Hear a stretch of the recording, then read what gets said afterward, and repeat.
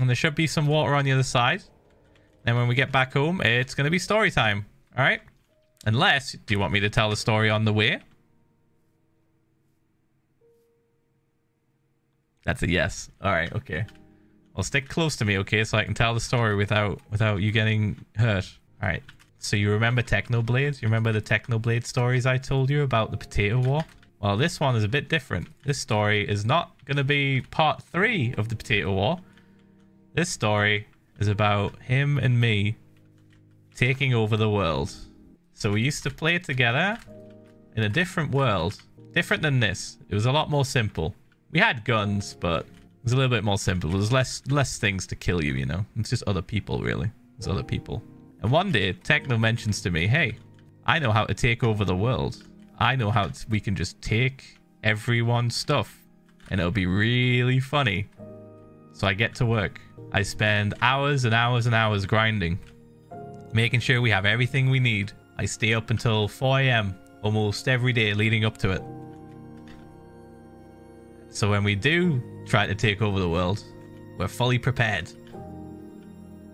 We have god apples, we have emeralds, we have everything. And he tells me all we need to do is just drive our boats around this specific spot.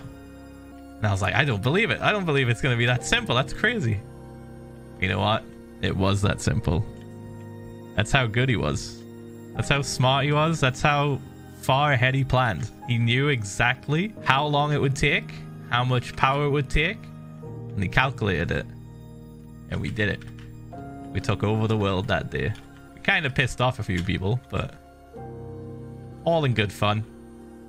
It was mostly cosmetic anyway. We just wanted to prove we could do it.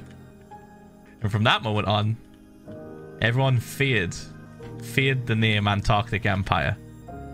It was synonymous with battle, with preparation, and with friendship. So if you ever hear anyone utter the words Antarctic Empire, you can tell them your dad was part of that. Your dad helped Techno take over the world. Yeah. I see a lot of them in you, actually. I, I do see a lot of them in you. I reckon one day you'll take over the world. I'll be right there watching.